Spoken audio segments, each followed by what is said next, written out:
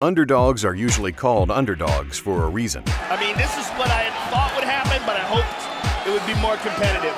But every once in a while, even the most hardcore MMA fan can be surprised. You just shook up the world. I'm not surprised, motherfuckers. This is a list of fights where a fighter wasn't given much of a chance to win and ended up shocking the world. These are some of the best underdog wins in MMA. In 2004, Pride held a heavyweight tournament featuring some of MMA's top fighters. Among the favorites to win were Fedor Emelianenko, Antonio Nogueira, and Mirko Cro Cop. Cro Cop was one of the most feared fighters in the heavyweight division at the time, with nine wins, finishing eight of them, and only one loss.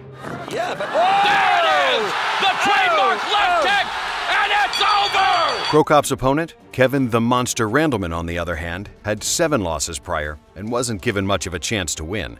Coming from a wrestling background, Randleman's game plan was to take Cro Cop down as soon as possible. Very smart. This was a very smart move from Kevin. He's got to take him down, though. After an unsuccessful clinch and takedown attempt, things didn't look so good for the monster. It was this moment that everyone expected Mirko Cro Cop to destroy Kevin Randleman.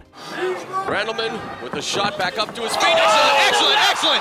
It's over, it's over, it's over. Unbelievable. Randleman has knocked out Mirko Cro Cop! Mirko was knocked out 1 minute and 57 seconds into the first round. Randleman was eliminated from the tournament after losing his next fight to Fedor Emelianenko, but not before delivering one of the best slams in MMA history. Can Randleman take him down? Kevin Randleman died this year after a heart attack. He was 45 years old. For all the fans, Japanese, Croatian, Russian, American, I just want to say God bless all of you. And the whole world needs more peace and more love. While not as well known as some of the other fights on this list, Muhammad King Mo Lawal and Emanuel Newton fought at Bellator 90. King Mo was a big favorite to win, with odds closing near minus 1,000, where betting $1,000 would only net you a $100 profit. Lawal made his MMA debut in 2008 against a veteran of over 60 MMA fights, Travis Wiuff.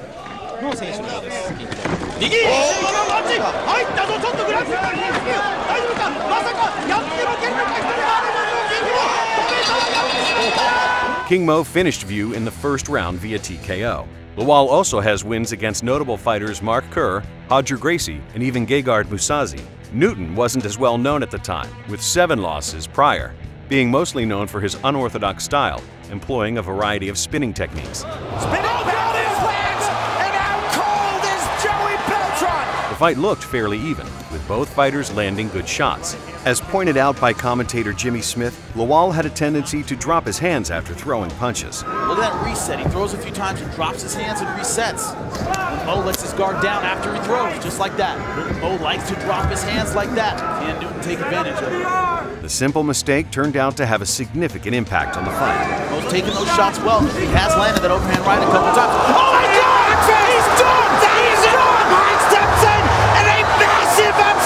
Newton won via KO in the first round, stunning everyone in attendance. You talk about shocking the world. That's what he just did. Lawal and Newton fought once again at Bellator 106, with Newton winning again, this time by decision. Fedor Emelianenko used to be considered the best pound-for-pound fighter in the world, remaining virtually unbeaten in over 30 professional fights. It looks like he is out. It looks like he is out. And there it is. There it is. But the streak came to an abrupt end at Strikeforce in 2010. His opponent, Fabricio Werdum, was released from the UFC after being knocked out by Junior Dos Santos. The odds were swayed heavily in Emelianenko's favor, with Werdum coming in as a 6-1 underdog. Fedor quickly dropped Werdum and seemed to be on his way to winning the fight until Werdum, a grappling world champion, caught him in a triangle choke.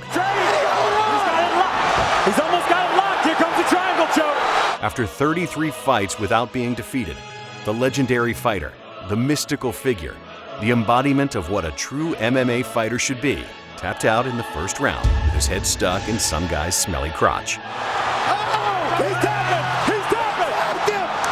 Fedor losing for the first time. Unbelievable. Fedor went on to lose the next two fights as well, but has since rebounded, winning his last four fights in a row.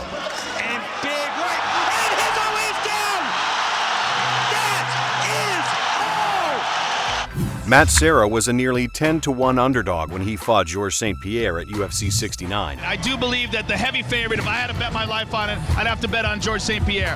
He's been more successful, he's been more impressive. Serra didn't exactly work his way through the ranks and only received a title shot for competing on the UFC's reality show, The Ultimate Fighter. After defeating Pete Spratt, Shonie Carter, and a controversial decision win over Chris Lytle, he was given a shot at the welterweight title.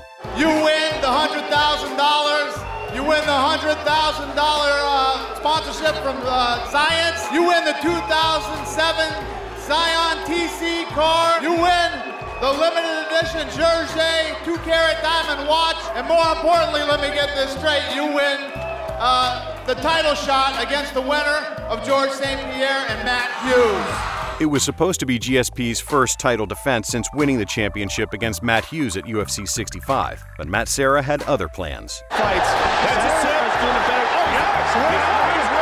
After hurting GSP, Serra didn't let up until the fight was stopped.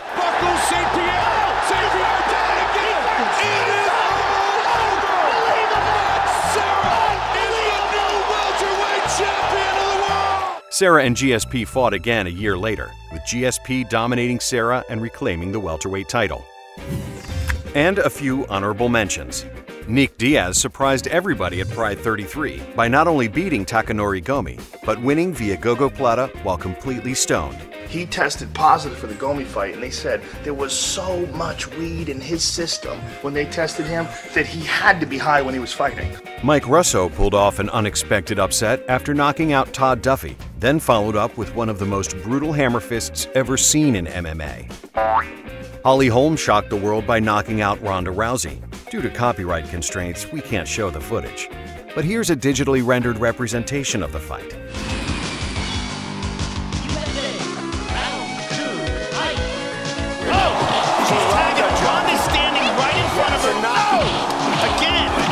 Ronda's got to be careful. She's hurt. She's in trouble. She's hurt. Oh, Holly looking to finish. She's out. It is over. Thanks for watching. Be sure to subscribe. I'm not surprised, motherfuckers.